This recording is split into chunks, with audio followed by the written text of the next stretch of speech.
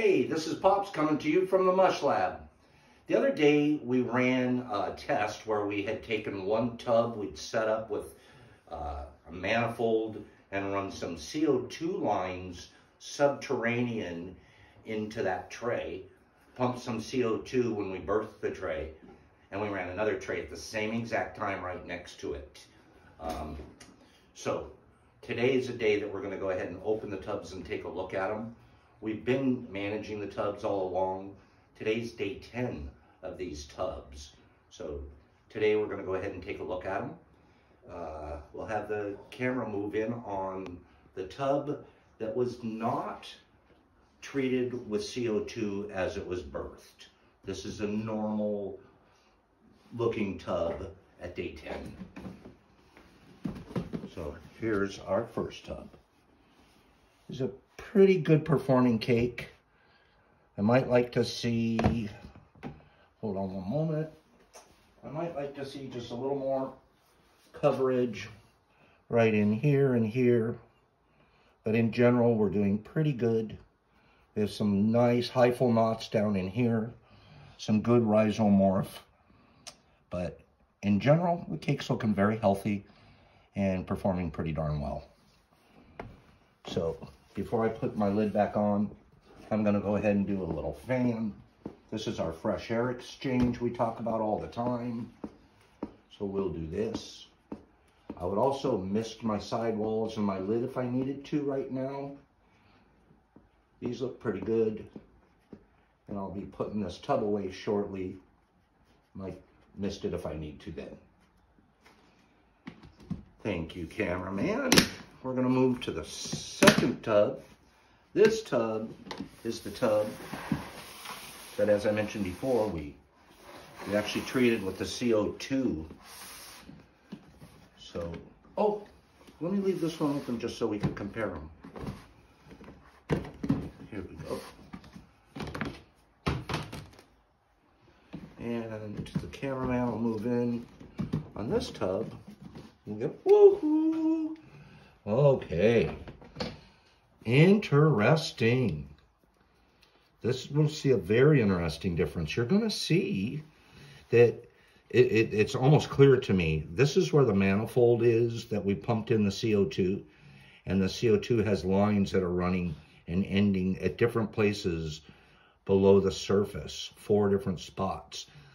And believe it or not, those are almost the spots that I'm seeing deader uh, substrate. And it's almost as if the white area on this cake the hyphal areas and the more rhizomorph areas seem to be just a little bit stronger than on this cake.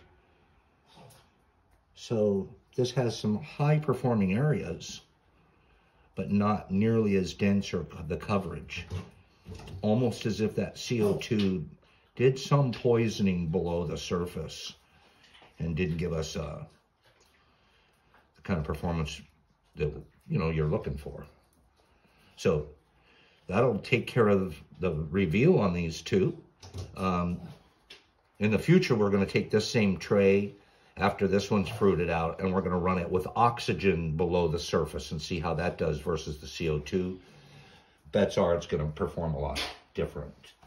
So that's really, really cool. Thank you, cameraman. I'm going to put our lids back on. We're going to do one final thing, just something that we do usually on day 10 so I set this up so the camera can see it as well.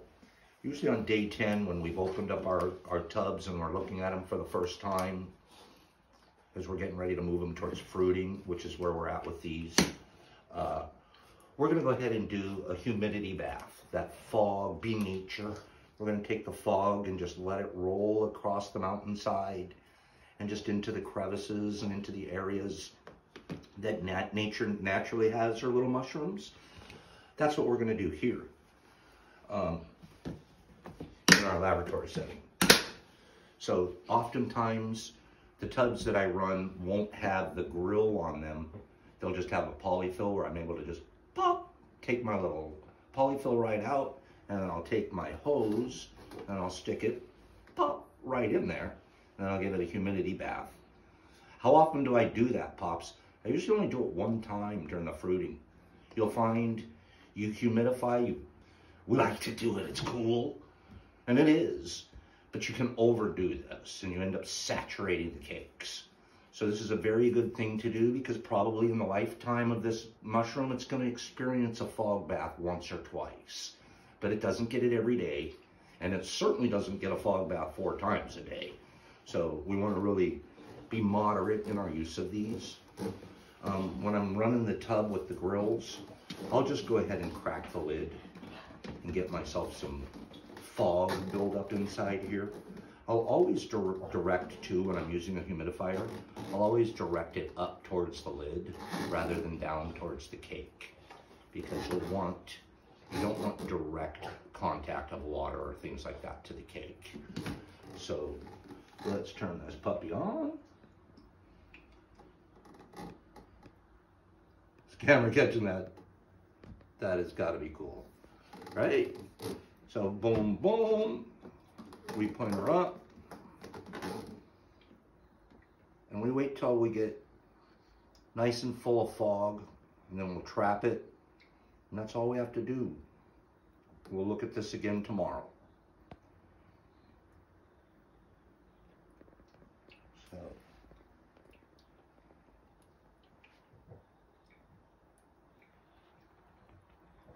There we go. We're filling up pretty good.